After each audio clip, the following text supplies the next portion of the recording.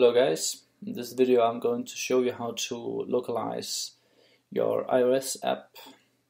First up I'm uh, on an iOS 9 app and I'm using Xcode uh, 7.1 so like any other software if you're using other versions uh, the procedure may or may not be uh, different.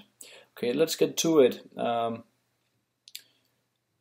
uh, first up you want to uh, select your project up here and you want to go in and select your project here and under localizations you're going to add a new localization and choose the language that you're going to um, translate it to. I'm going to choose Danish and uh, it's going to show you which files it has found that uh, that can be um, localized.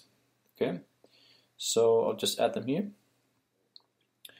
and uh, now you'll see that your uh, storyboard files have um, have gained this arrow here and you can expand it to see uh, strings that are Danish.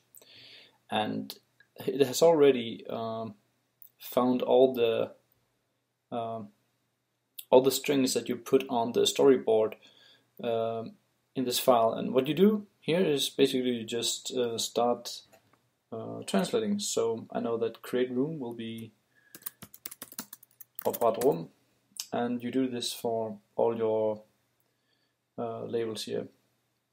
But uh, unfortunately, it isn't as easy to do for the code, the hard coded the strings that inside your code. So what you want to do here is that you want to um, you'll need to to open up your your code and find these strings. So if you haven't, uh, so if you haven't um, uh, thought about localizing your project uh, and it's grown big, then this will be uh, kind of a long procedure if you just put strings, uh, English strings inside of your code, deep within your code. So you have to go through them all. So uh, let's just find something here. Just choose this one up here. So it says no nearby rooms, and of course I want that to be uh, translated to Danish. So what I'll have to do is that I want to um, pass this to NS uh, localized string, and uh, the first parameter is just the English or the base language. You can, you can have uh, any language for your base language, and the comment is. Um, well, I can just read Apple's documentation about it, but it's mainly to give give any external translator an idea about what this string, in what context this string is being uh, presented. Um, you have to think about that maybe this external translator don't know your app, don't know the, the domain of your app, so it can, be a good idea to, to put some kind of comment uh, here uh, so the comment here could be like something uh, warning message that no rooms uh, are nearby. Okay, so what to do now? And I think I'm uh, actually think that I'm going to get an error here. So just follow me. I'm going to choose the uh, top level project here, and I'm going to choose uh, under the editor export for localization. And uh, I'm going to choose Danish and I'm just going to drop it on the desktop. And let's just call it Danish. Um, okay no error this time. So by doing this you get this file that uh, contains uh, not only all the things that you had on your storyboard and you can see I have this um, create room which I translated to opret rum in Danish so what you will have uh, any external translator or yourself to do is just to um, find uh, all the sources and target and just translate the uh, the words here. So like uh, the source is choose role and in Danish it would be uh, vælg rolle.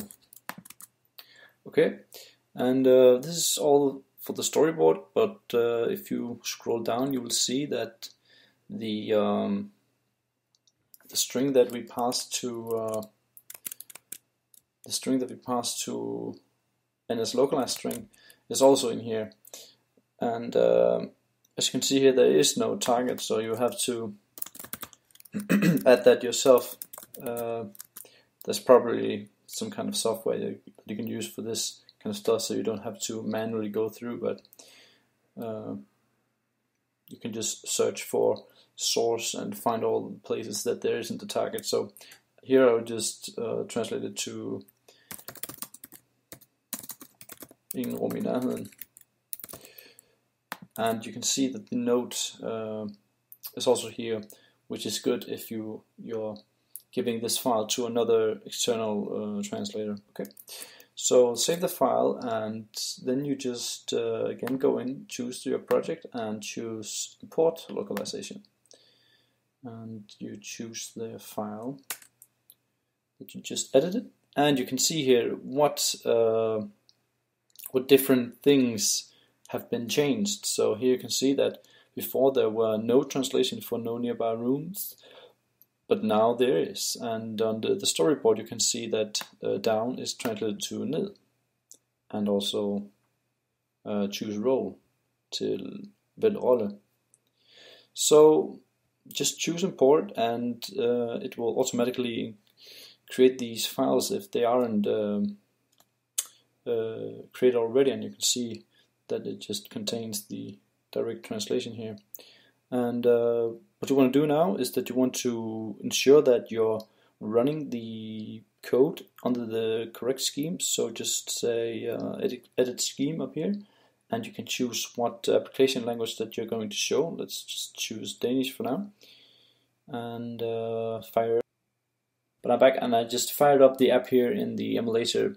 And uh, as you can see the translated um, opret uh, text up here is injected into it. But of course there's a lot of the app that hasn't been translated yet. So you have to do that for every string.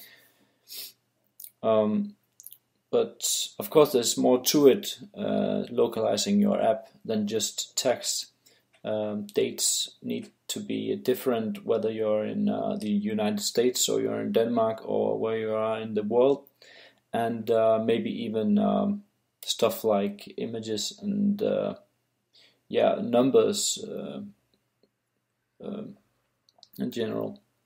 So, uh, but you have to look that up yourself.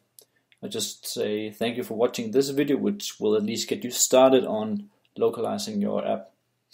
Okay, bye.